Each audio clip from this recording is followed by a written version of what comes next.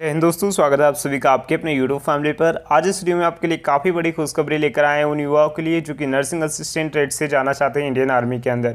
अग्निपथ योजना आने के बाद यहाँ पर कई सारे ऐसे कैंडिडेट्स हैं जिनको डाउट था कि अग्निपथ के द्वारा ही क्या हमारे जो नर्सिंग असिस्टेंट ट्रेड की भर्ती होती है, उसी से ली जाएगी या अलग से इसको परमानेंट रखा जाएगा।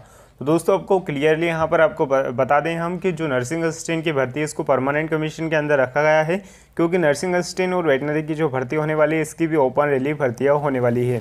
कई सारे ऐसे एआरओ है जहाँ पर रैली के इसके नोटिफिकेशन भी जारी कर दिए गए हैं। तो अब कौन से ए आर हेडक्वार्टर के अंदर आते हैं तो यहाँ पर आप नोटिफिकेशन को देख लीजिएगा। ऑफिशियल एक राज्य अलग अलग राज्यों का नोटिफिकेशन जारी हुआ है तो यहाँ पर आप चेकआउट कर लीजिएगा। उसके साथ ही हम एक अलग राज्य के यहाँ पर नोटिफिकेशन फुल डिटेल्स आपको देने वाले हैं। क्या क्या इसमें क्राइटेरिया आपका होना चाहिए?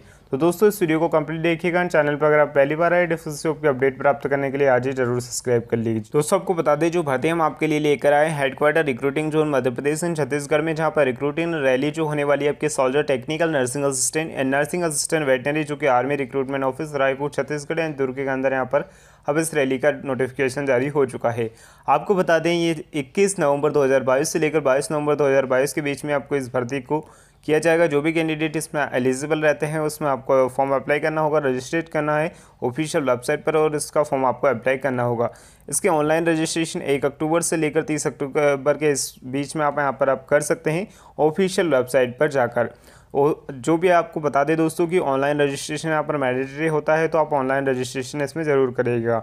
एडवाइजरी दी गई है, अगर हम बात करें इसमें तो पोस्ट आपकी सोल्जर नर्सिंग असिस्टेंट की होने वाली है। जहाँ पर अगर हम बात करें आपकी एडमिट कार्ड जो जारी किए जाएँगे, यहाँ पर लोकेशन और सारी चीज़ें जो रहेगी इस रैली की इक्कीस नवंबर से लेकर बाईस नवंबर के बीच में होने वाली है। यहाँ पर रजिस्टर्ड ईमेल आईडी पर आपका एडमिट कार्ड आपको तीन नवंबर से लेकर दस नवंबर के बीच में मिल जाएगा। अगर हम बात करें इसमें एलिजिबिलिटी कंडीशन की तो यहाँ पर जो भी कैंडिडेट नर्सिंग असिस्टेंट में फॉर्म अप्लाई करना चाहते हैं, उनमें एजुकेशन क्राइटेरिया की बात करें तो टेंथ प्लस टू यानी कि इंटरमीडिएट एग्जामिनेशन आपने पास कर लिया साइंस सब्जेक्ट जिसमें physics chemistry biology and English में मिनिमम फिफ्टी परसेंट मार्क्स आपके होने चाहिए। एंड मिनिमम यहाँ पर सभी सब्जेक्ट में मिलाकर फोर्टी परसेंट से ऊपर ही आपके होने चाहिए इस बात का विशेष ध्यान रखें।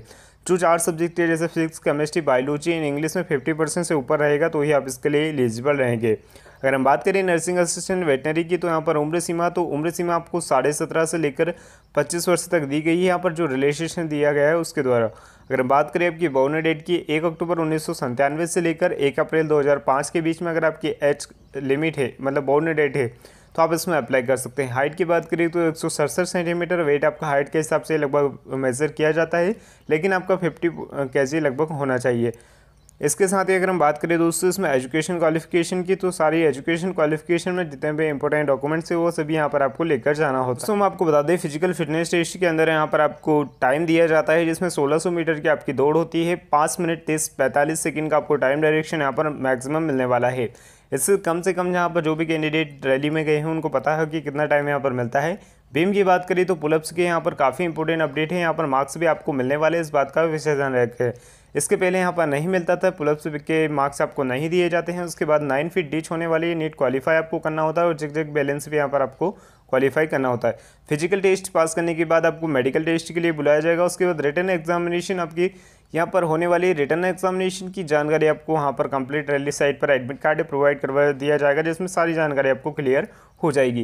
अगर हम बात करें इंपॉर्टेंट डॉक्यूमेंट्स के तो इंपॉर्टेंट डॉक्यूमेंट्स के ऊपर कंप्लीट वीडियो हम आपको बता चुके हैं, पहले ही दे चुके हैं तो उस वीडियो को आप देख सकते हैं। आई बटन या वीडियो के डिस्क्रिप्शन में उसका लिंक आपको मिल जाएगा। आपको बता दें, मध्य प्रदेश और छत्तीसगढ़ की नर्सिंग असिस्टेंट वेटनरी की जो भर्ती आपकी होने वाली है, आपकी जो 21 नवंबर से लेकर 22 नवंबर के बीच में इस भर्ती का आयोजन किया जाएगा। जो भी यहाँ पर इंपॉर्टेंट अपडेट है इसमें कोई चेंज किया जाता है तो जो आपका प्लेस रहता है, जहाँ पर आपकी रैली को कंडक्ट करवाया जाता है, उसकी जानकारी आपको आपका एडमिट कार्ड में मिल जाएगी। तो अपने एडमिट कार्ड का आपको इंतज़ार करना होगा। आप अगर चाहते हैं कि इसमें किस तरीके से आपको फॉर्म अप्लाई करना होगा, उसकी कंप्लीट वीडियो आपको चाहिए तो ज़रूर कमेंट करेगा और ज़्यादा से ज़्यादा उन दोस्तों के साथ ज़रूर शेयर करेगा जो कि इंडियन आर्मी में परमानेंट कमीशन के अंदर मतलब नर्सिंग असिस्टेंट में जाकर अपने देश की रक्षा करना चाहते हैं।